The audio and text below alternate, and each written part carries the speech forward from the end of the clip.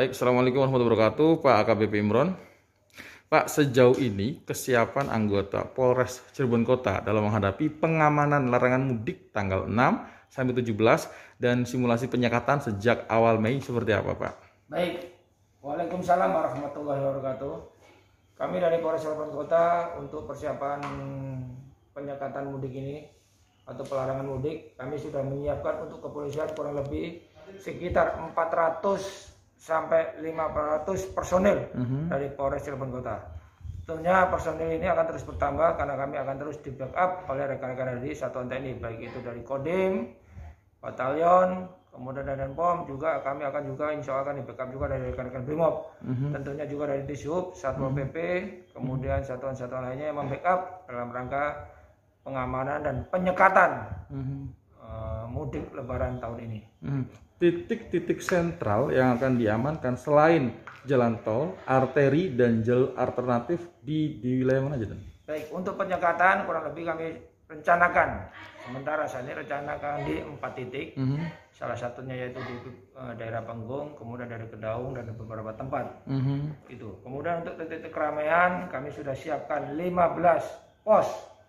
Baik itu pos PAM, posyan, pos terpadu yang kurang lebih jumlahnya saat ini kami hitung 15 titik pos PAM atau pos pengamanan. Mhm. Ya, dengan tidak adanya mudik atau larangan mudik, taktis beberapa perantau ataupun warga masyarakat akan membludak di dalam kota, terutama beberapa pusat-pusat perbelanjaan dan lain sebagainya. Nah, ini untuk mengantisipasi kerumunan akan hal-hal tersebut seperti apa yang akan dilakukan CB-nya dari Polres Cirebon Kota, Pak Kapolres? Baik, hal itu sudah kita prediksi kalau memang sebenarnya terjadi tidak ada larangan mudik, tentunya hal ini akan kita laksanakan himbauan. Tentunya kita akan bersama dengan eh, mereka-mereka yang memiliki tempat-tempat hiburan mall maupun tempat-tempat yang memang sekiranya wisata itu dituju oleh para pemudik yang tidak pemudik yang ada di sini. Beberapa titik itu sudah kita rencanakan memang dalam minggu ini kita akan insya Allah menyampaikan, memberitahu atau merapatkan atau mengumpulkan dari pihak-pihak tersebut untuk mengantisipasi terjadinya pembludakan masyarakat yang mungkin ada kutip melaksanakan uh, kegiatan di luar rumah yaitu dalam rangka uh, mencegah mudik ini. Hmm. Nah, dan untuk di pos-pos tersebut anggota 24 jam ya, Dan? 24 jam Gabungannya, Dan? gabungan dan dibagi tiga regu yaitu 8 jam, 8 jam dan 8 jam. Kemudian terkait aglomerasi ini, eh, aglomerasi dari Cirebon tadi kan tidak termasuk wilayah aglo- aglomerasi. Jadi pastinya kan eh, eh, untuk lalu lintas dan juga dari orang Ciayu Maja Kuning pasti juga ditumpuk ke sini. Itu bagaimana ke mana? Yang jelas apa pun namanya kita akan menyiapkan pengamanan. Istilah kan eh, bisa jadi aglomerasi tapi dalam pelaksanaannya kan tanpa istilah pun pasti masyarakat juga sudah ke tempat-tempat lain. Pasti kita siapkan itu. Mhm.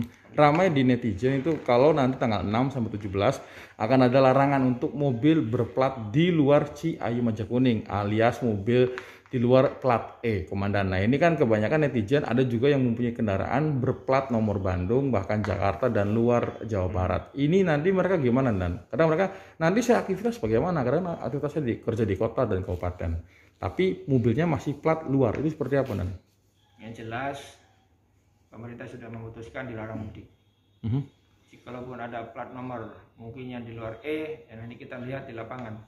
Karena kan setiap pergerakan perpindahan apalagi antar kota antar daerah antar provinsi harus menggunakan alat yang sudah sesuai ketentuan yaitu surat keterangan rap- eh, apa itu Berarti SIKM. SIKM itu berlaku untuk eh, besok 617 itu.